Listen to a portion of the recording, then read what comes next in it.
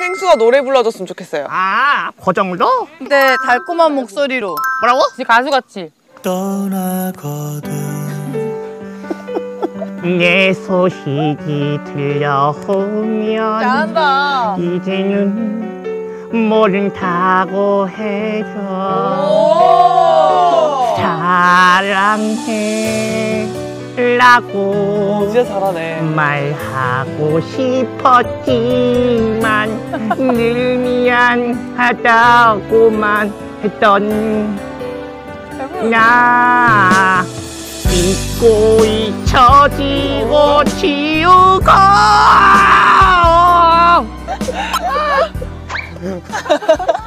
펭수 뭐해요 지금? 해야지.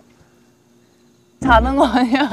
키가 키가 조금 안 맞네 펭수 준비한 거 있잖아요 아 제가 기프트를 준비했습니다 오 진짜요? 여러분들에게 귀여워. 해수를 보내드렸으니 행운이 가득할 겁니다 무조건. 아 너무 귀여운데? 오늘 아주 즐거웠고 행복했습니다 앞으로도 여러분들도 즐겁고 행복하세요 팽빵